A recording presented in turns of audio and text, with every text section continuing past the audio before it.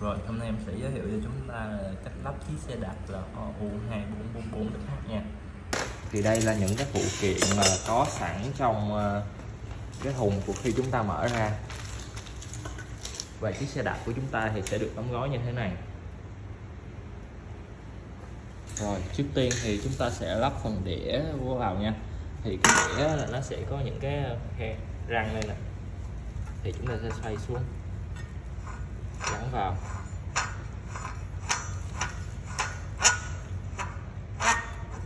Chúng ta nhớ là phải gắn chặt cái phần đĩa này nha.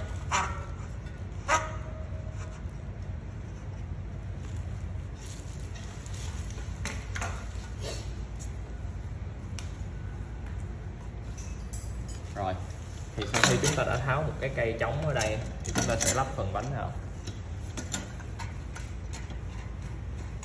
Chúng ta sẽ nới lỏng hai con ở trên và dưới.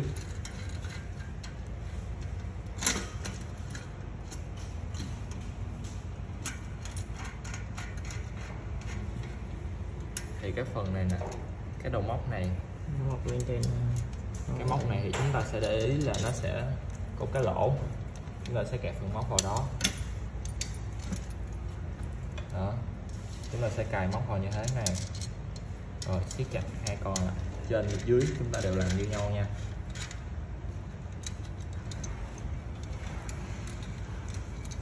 Sau khi chúng ta lắp xong thì nó sẽ như vậy nè. Đó. Rồi chúng ta sẽ dùng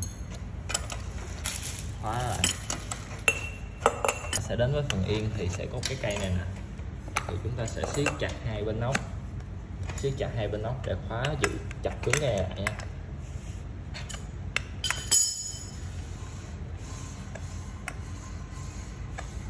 Chúng ta hãy nhớ khi mà tháo cổ để bắt cổ thì chúng ta phải tháo bốn con này ra, tháo phần này ra trước nha.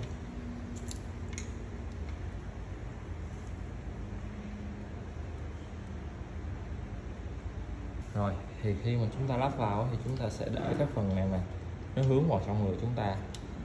Còn cái đầu gạt này nó sẽ nằm như thế này. Đây, khi chúng ta chạy, chúng ta bóp.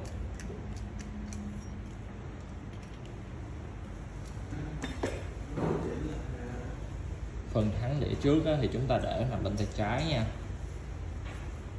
Đó. còn cái phần số sang số và cái phần này thì chúng ta có thể tùy chỉnh chỉnh lên chạy ngược lên chỉnh xuống đều được nha.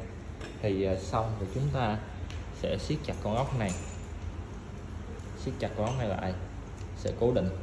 Rồi chúng ta hãy lưu ý giúp em á, là phần vẽ đằng trước nó sẽ ngắn hơn phần vẽ đằng sau nha. Phần vẽ đằng sau nó sẽ dài hơn như thế này đây. Thì cái phần dè này á, dè đằng trước thì chúng ta sẽ bắt ở đằng sau nha. Tại vì nếu mà chúng ta bắt ngược dè lên đằng trước á, thì nó sẽ bị cạo vào phần bánh. Chúng ta sẽ bắt như thế này.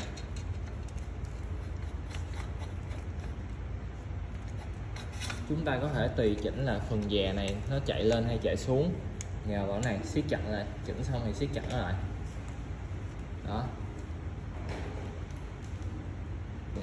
Phần yên thì chúng ta sẽ tháo ra, rút cái này lên hoặc là khóa xuống, khóa lên xuống để rút cái này ra nha. Còn phần chân đạp thì chúng ta sẽ xoay ngược chiều với chân răng nha, ngược chiều răng nha.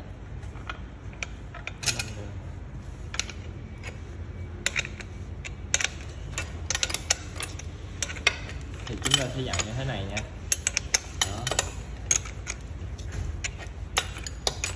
cả hai bên luôn. Chúng ta đều dặn như thế.